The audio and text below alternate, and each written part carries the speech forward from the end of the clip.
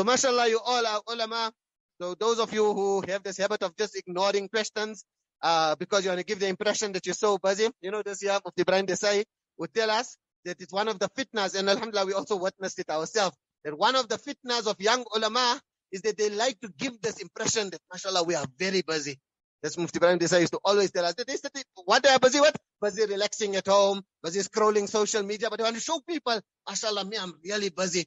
I don't have no time at all. So, and I always say that our senior ulama, they are really busy, but they are more accessible. You phone Mufti Raza, tell him I want to meet you, say come tomorrow after Fajr. Om Fazl Rahman, he'll tell you, phone me tonight.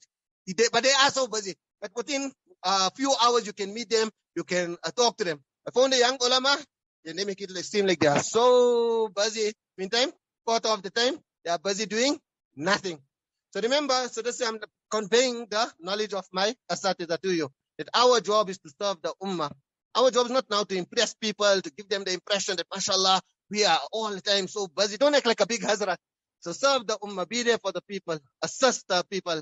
There's once on a Sunday night, um, there's a, a very late, and one alim responded to a question of a girl who was about to commit suicide. Imagine if he had to act like now, oh, me, I'm so busy with my mutala, etc. She would have committed suicide, isn't? but saving the lives of people. And it's also no use. You don't want to respond to them now. And then when they go ask someone else from a different manhaj, then you then complain.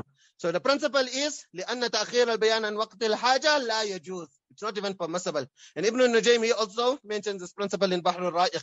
لأنه لو لم يكن كذلك لزم تأخير البيان وقت الحاجة وهو غير جائز اتفاقا. It's اتفاق. You, you can say I quoted it from Malik, now I'm quoting it from Hanafis.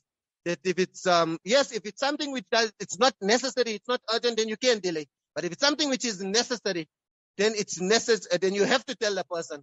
So, uh, especially when it's urgent. So the questioner is asking you that, um, now in Ramadan, did my fast break? Did my fast not break?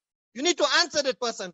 Because the person is asking you at the time of uh, Salah, do, uh, do I have wudu? I don't have wudu. You have to tell a person that uh, time is expiring. A married person, he uttered some words. Did divorce take place or not? You want to act now like the big Hazrat, give the impression that mashallah, you're so busy, they must make appointment with you. Meantime, this person is living in zina. So you need to tell the people urgently and you work, uh, you don't have, you serve the deen of Allah subhanahu wa ta'ala, not on your schedule. Yes, but if it's not urgent, just a general question, um, then if you delay, and like also uh, uh, what um, Alam Abul Walid Baji mentioned, if you want to give maybe a more detailed uh, response, etc., then it is fine. So